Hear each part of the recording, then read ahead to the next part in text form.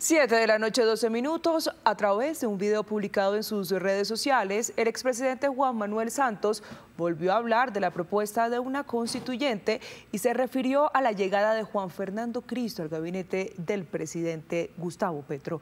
Juan David Ríos, ¿qué dijo el exmandatario? Alejandra, mire, fueron tres puntos importantes los que dijo el presidente Juan Manuel Santos en un video de tres minutos ahí publicado en sus redes sociales. El primero de ellos tiene que ver con la constituyente. Mencionó que esta propuesta es inconveniente. Aquí el porqué. Dicha propuesta es inconveniente, innecesaria y es meterse en un callejón sin salida, porque no existen los tiempos, ni los votos, ni los argumentos. Solo una simple pregunta.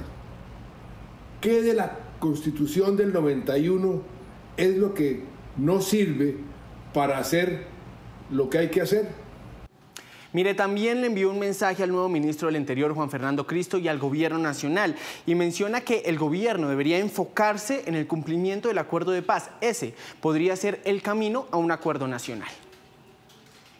Mi mensaje al ministro Cristo y al gobierno es, dedíquense ojalá a implementar el acuerdo de paz, como se lo va a pedir la comunidad internacional al presidente Petro en el Consejo de Seguridad esta semana en Nueva York.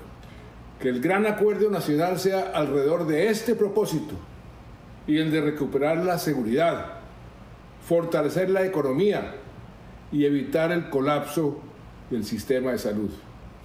Un acuerdo nacional para unir a Colombia en torno a estos temas que a todos preocupan y a todos nos interesa recibiría un amplio, amplísimo respaldo.